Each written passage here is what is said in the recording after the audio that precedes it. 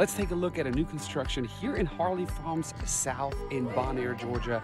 $367,500 listed by Drew McRoy with Southern Classics. Let's go. Coming into the house, you find the formal dining room, beautiful covered ceilings with a judge's panels. Then walking into the living room space, the main bedroom is on the main level with a beautiful double vanity bathroom. You got a tiled shower, a tub, beautiful tile work, as well as a large walk-in closet. Coming into the living room, we got the gas fireplace, wide open to the beautiful kitchen and breakfast area with that accent brick wall, which is beautiful. A large island, and off of the kitchen, you got hallway with a mud bench, the laundry closet, half bathroom, and leading into the two-car garage. From the kitchen, you actually can walk into the dining room and have a little coffee bar underneath the stairs.